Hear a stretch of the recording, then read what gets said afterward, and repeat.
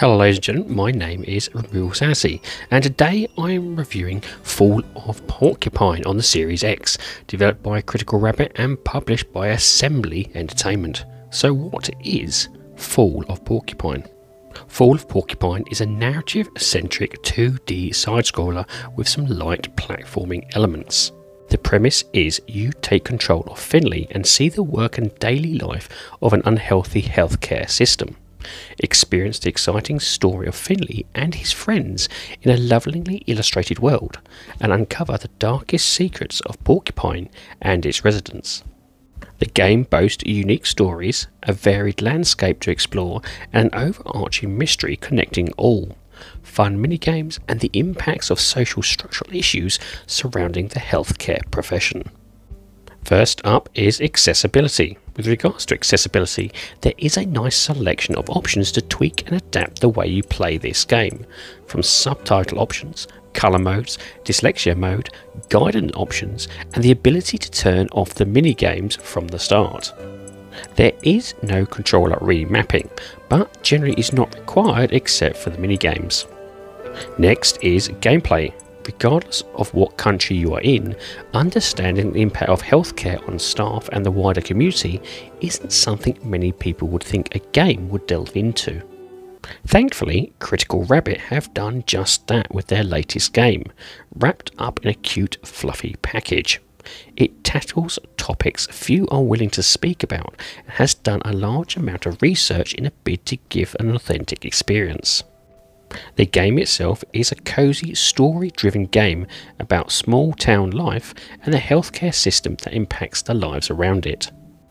You control Finley, a young pigeon and the newest doctor at St. Ursula's Hospital and newest resident in the town of Porcupine.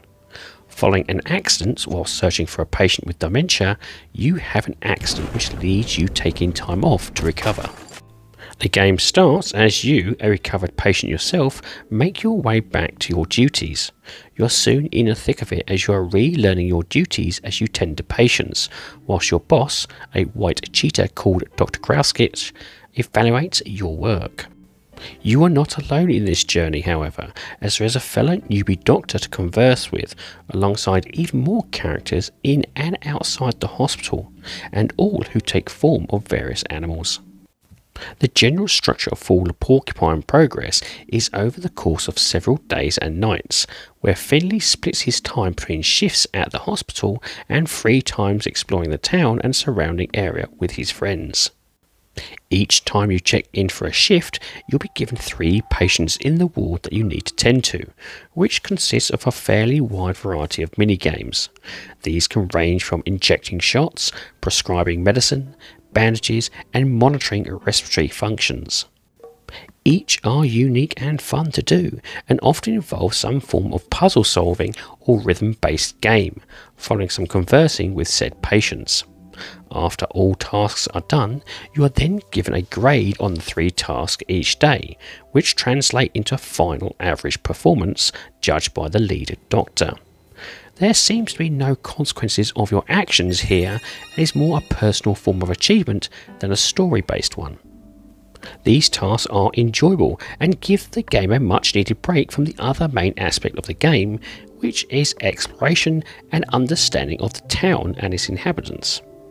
Once your shift is done, you and your friends then explore the town of Porcupine and the surrounding woods.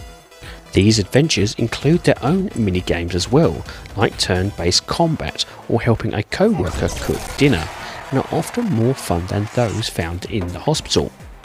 As you explore the area, you can enjoy some light platforming, which helps a bit of variety from the typical walking aspect of the game promotes.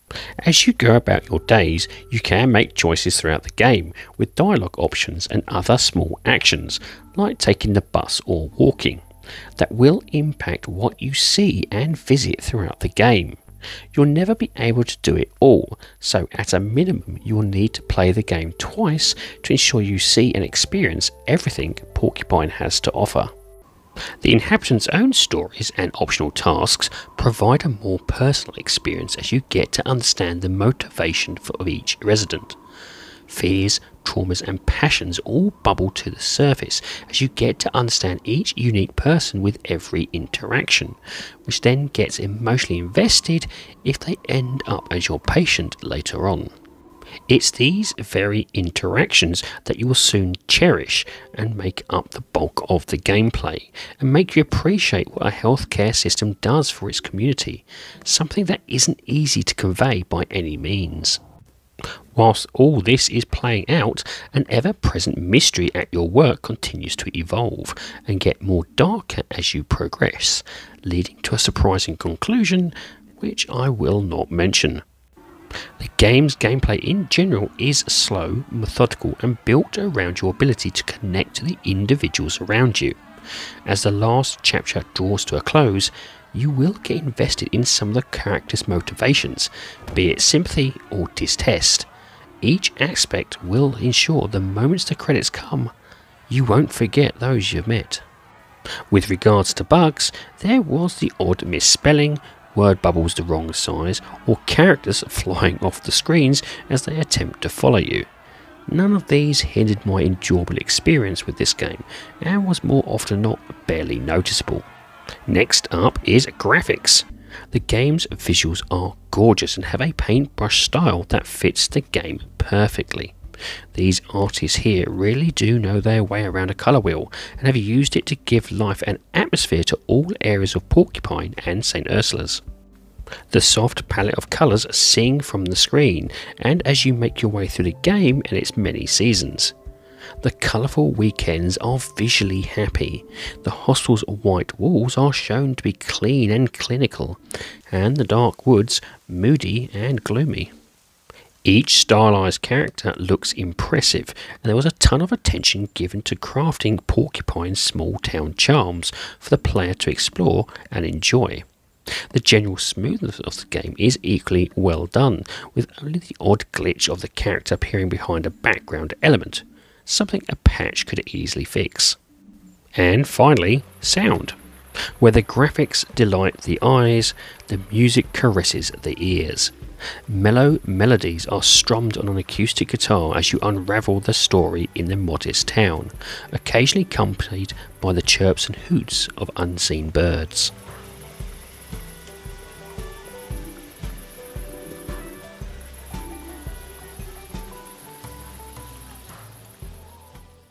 When dramatic events happen within or outside the hospital, the tones do a superb job of engaging your heartstrings and complement the gameplay perfectly.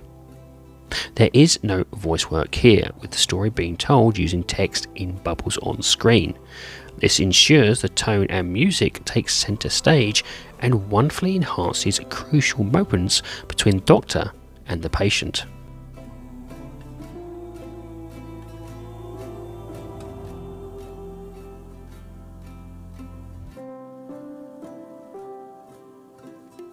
My recommendation here is a good quality headset to enjoy the poetic nature of this game to its fullest. And this leads me on to the rating of the game. Now I rate games in order of avoid, on sale, great purchase, and must own. My rating for Fall of Porcupine is a great purchase. The game does have its bugs, which could easily be patched out, but what is there is enjoyable and thought provoking. A tough subject for most, the developers have gone in with the understanding of what happens to a healthcare stretched or underfunded and how this affects the communities at large. A sympathetic story with heaps of heartfelt content will leave you thinking about this game well after the credits have ended. The game is currently priced on Xbox at £14.99, or approximately $20, and depending on your skill and patience, would give you about 10 plus hours worth of gameplay. Due to the choices that can be made, you'll need a second playthrough, and this will add another 5 plus hours.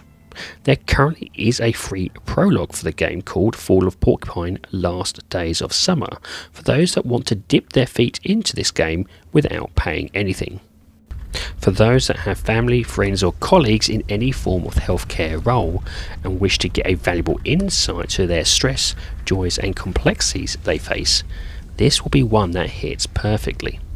The developers have created something lovely that will leave you with a better of understanding of what working such an industry entails and how precious it is to society overall. Well, ladies and gentlemen, that's it. I do hope you like this review, and if you do, please like, share, and subscribe if you so wish. And if you would like to put some notes or even just a comment in the comment section, I do like reading them. Anyway, have a great time gaming, and I'll see you all again soon.